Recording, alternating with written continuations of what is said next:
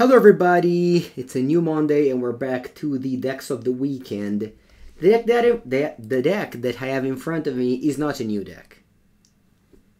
It's uh, the best deck of the format. It's been like that for a very long time, I want to say, and this weekend finally, um, I don't know, I guess the cards just aligned so that Grixis Shadow not only won every event that was around, it also just completely dominated the top 8.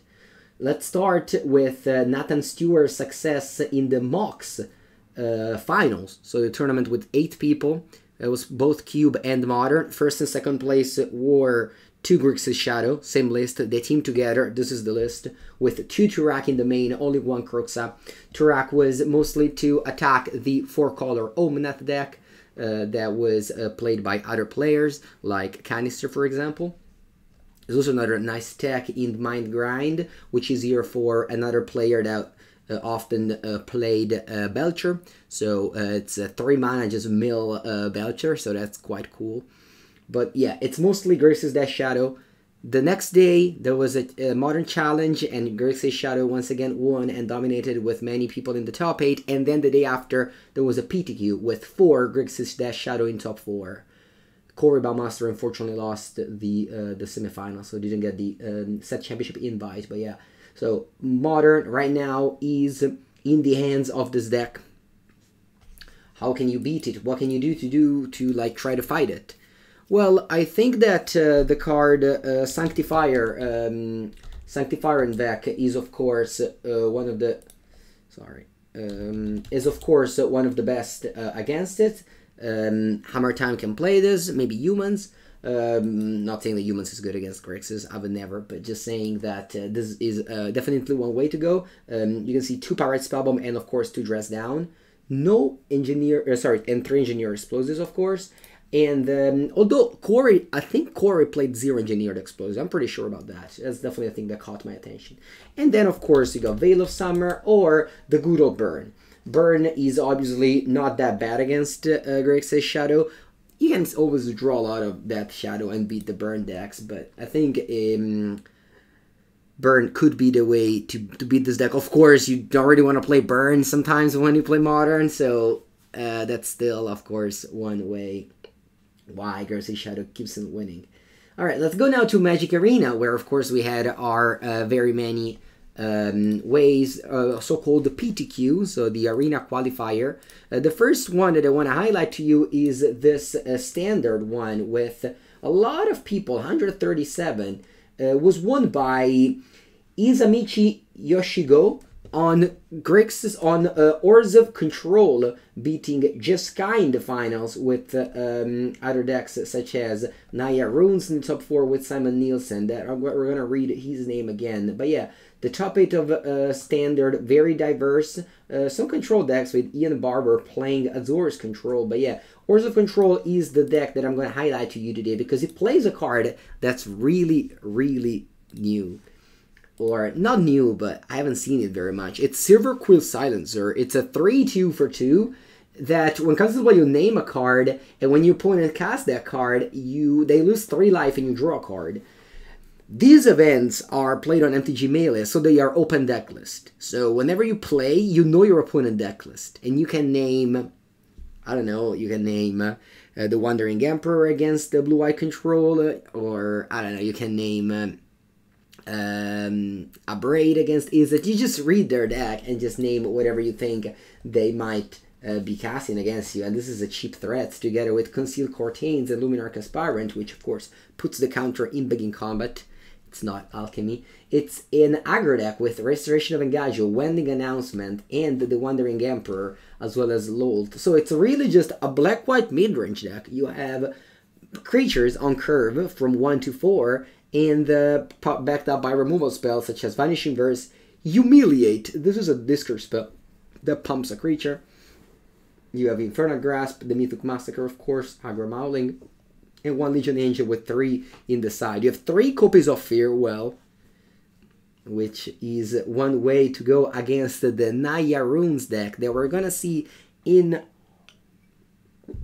Alchemy here, because Naya Runes Naya Runes did dominate alchemy. there was a, a PTQ uh, made by uh, .gg uh, events, the MTG Arena uh, Open. Um, we got way um, not 53 we got way more than that since the event was in um, a seven round event. Uh, my friend upumpa uh, tianfa moon made top 8 with blue white control but i could not uh, not highlight the, the, the, the strongest deck in the format which is naya runes with uh, five copies in the top five. That's pretty dominant uh, performance by uh, naya runes.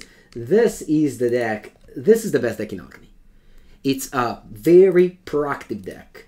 Your goal is to um, stick a Generous Visitor, a Kami of Transcendence, a Runeforge Champion, and just load them up. Sorry, a Jukai Naturalist. Just load them up with Rune of Speed, Rune of Assistance. You have Commune with Spirits to pick up one of those runes, or mostly more importantly, to pick up Showdown of the Skulls, which is the way this deck goes off.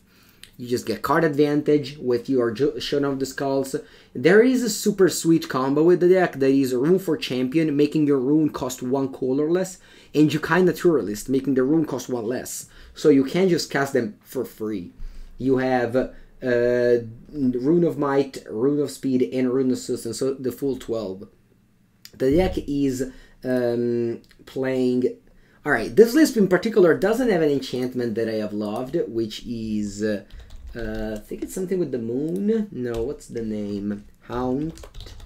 Which is Hallowed, Haunt Hallowed Haunting. It's a 4 mana enchantment that makes you read very good against control. But I guess uh, uh, Simon Nielsen didn't expect control to be popular, and uh, um, or that his matchup was just going to be good regardless because of your easy access to Showdown the Skulls with the Communal Spirits. But yeah, that's that's definitely a card. You have Boseiju and Eiganjo as your interactive lands, and you have Forsaken Crossroads, the only alchemy um, type of card in the deck. So alchemy, so there was a time where alchemy was very strong, very busted with uh, the Fearsome Whelp, Tolra's Tyrant, um, you know, Lier and Key to the Archive. So alchemy was this overpowered standard.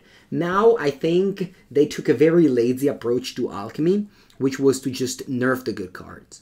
So what happened is that you just now are whatever you have left, which basically just standard but without Lier and without Goldspan Dragon, which makes the format I'm not sure how appealing it makes it, but other than that, it just makes so that you don't have to run the alchemy only cards because they just keep on nerfing them and making them worse. I have already expressed my opinion on alchemy uh, many times. I'm gonna repeat myself here. I think that alchemy had a huge potential to be able to make uh, arena more appealing to the uh, digital only players, but I think it didn't really to execute well. They started with a million rare wildcards so that everybody would hate it.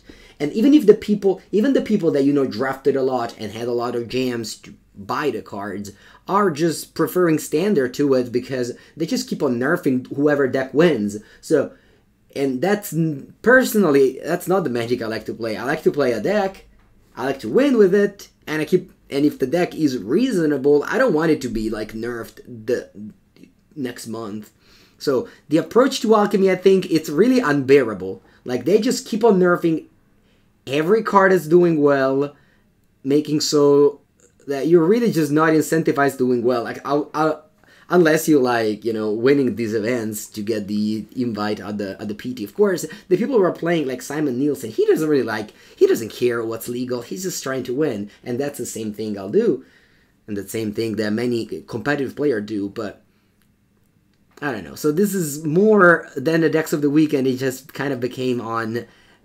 I think Alchemy had a huge um, power. No, what's the word? Um, it could have been great, and the execution has not been what I wanted to see. What I would love to see, because very easily in Magic people complain and never really say what or why should be changed.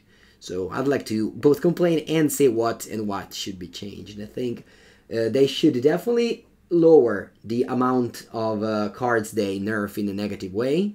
So just don't necessarily, if a card that's doing well, don't actually uh, nerf it. Just wait to see how the metagame does.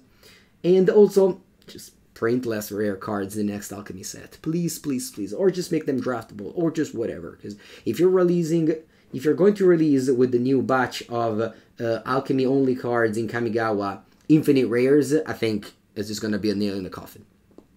So yeah that's it for my uh, monday time to just uh, privately talk stop privately publicly talk with my youtube uh, viewers. Thank you for watching in these uh, in these weeks. I really had uh, um, a lot more views than i uh, initially thought at the beginning of the year. I'm very happy.